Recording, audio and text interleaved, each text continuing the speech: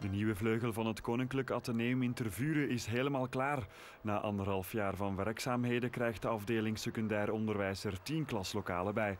En daar blijft het niet bij. Het Atheneum start nu met de bouw van een nieuwe lagere school en een polyvalente zaal. Samen kosten de drie projecten 3 miljoen euro. De Sint-Lambertuskerk in Leeftaal is dringend